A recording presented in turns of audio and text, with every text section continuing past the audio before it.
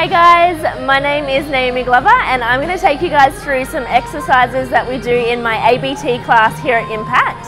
So the first one is the most important one. It's our warm-up that we do almost every class and it's called a booty walk. All you need is one of our resistance bands. What you're going to do is you're going to pop it underneath your feet and I want you guys to have your feet about hip distance apart to start off with. We're going to have a slight bend in your knees and pulling your tension on your bands. We're going to take a step out to the side, controlling your foot back to that starting position.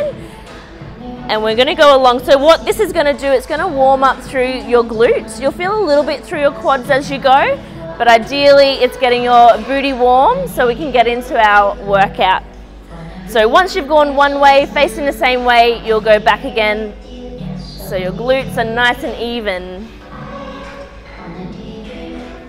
So the second exercise we're going to go through today is a barbell squat.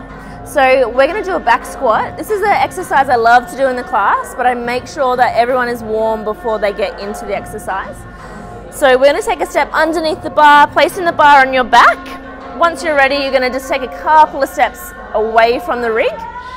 I'm going to have my feet slightly wider than hip distance apart and we're making sure we're hinging at the hips. So I'm going to push my hips back as I come down into the squat and then driving back up to the top here.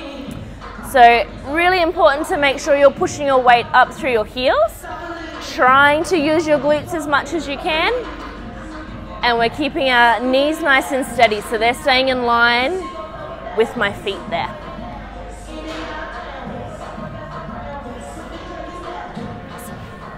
So last exercise we're going to go through, we're going to be using a kettlebell and we're going to do a B stance RDL, so a Romanian deadlift. Uh, the idea of this one here is a, unilateral exercise. So we're going to work one side and then we're going to work the other. And we are aiming to work our hamstrings and our glutes with this movement. So you're going to grab yourself a kettlebell. We're going to have one leg, one working leg, and that's going to be planted on the ground here. We're going to have a slight bend in this knee and then your resting leg is going to be sitting just behind and up on your toes there. So there shouldn't be too much weight going through the back leg. It's just there to help you uh, stabilize yourself.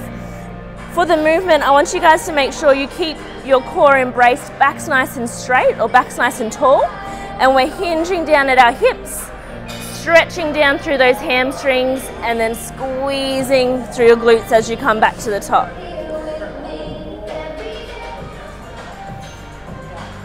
So a tip that I always tell the guys in ABT is to push their weight up through their heel and that's going to help engage your glute a lot more through the movement. So once you've done your reps on one leg, you will swap it over and continue onto your other side there.